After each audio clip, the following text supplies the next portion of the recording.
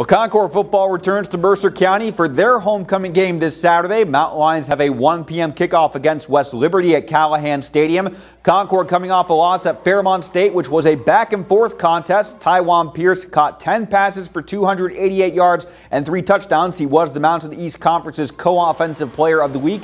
However, with the team on a two-game skid, head coach Dave Walker says there is still time to get back on track. You got to try to remain positive and try to build on the good things that you did. Uh, we just got to continue to, to try to keep working in practice, be consistent, and, and, try to work on our craft and get better. And I'm encouraged about you know what we're doing.